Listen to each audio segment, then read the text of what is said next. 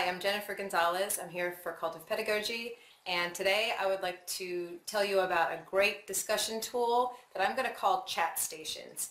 These are very similar to other kinds of station work that you would do in your classroom, but they're much simpler and faster to set up. Uh, a lot of elementary teachers use station work and um, it's really great for having kids move around the room and get a lot of different activities done.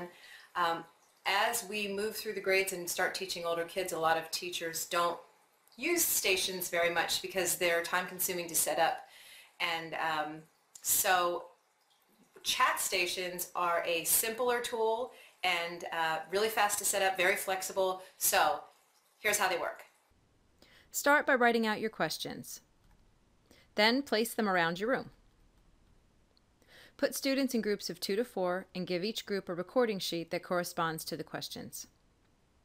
Groups then rotate from station to station, discussing the questions and recording their answers. Once all groups have visited all stations, they return to their regular seats. Now the whole class discussion begins.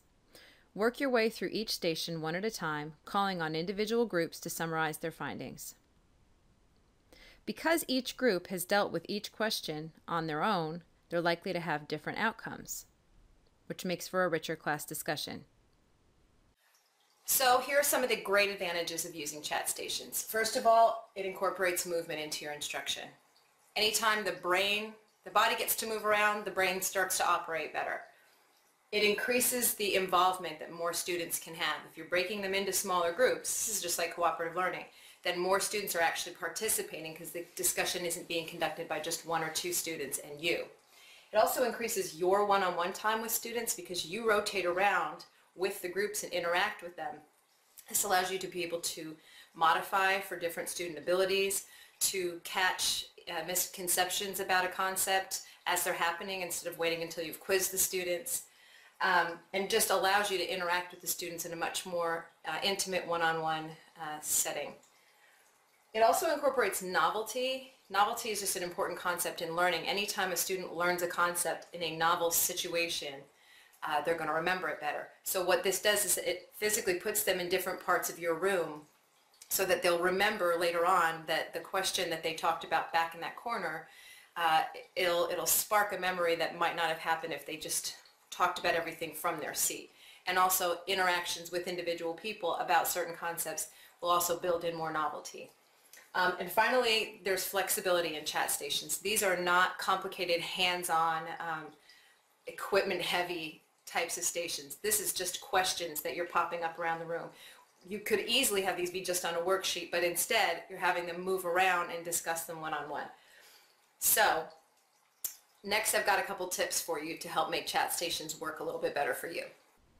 First, to keep groups in step with each other, set a time limit for stations. The amount of time will depend on the kinds of questions you ask.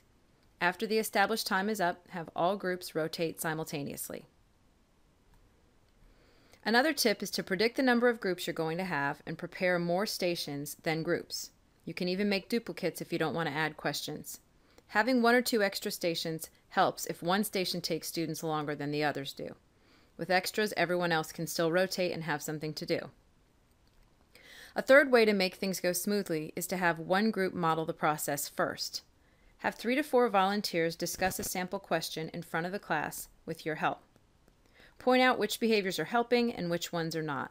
For example, some students will think that each group member should take a turn doing each question, meaning the others stand around doing nothing while one person answers the question. Have your model group demonstrate how to get all group members' input for every question. Finally, keep a checklist of expectations and tie this to a grade so students know they're still accountable for things like staying on task and actively participating in all discussions. So here are a couple of ideas that you could use chat stations for. Imagine that you're studying the scientific method with students. You can put example uh, scenarios of different types of research studies around the room and have students go around and critique them for the quality of their design.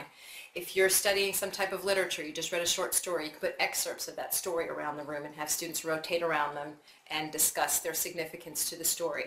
Um, you can take your next worksheet and chop it into pieces and spread it around the room.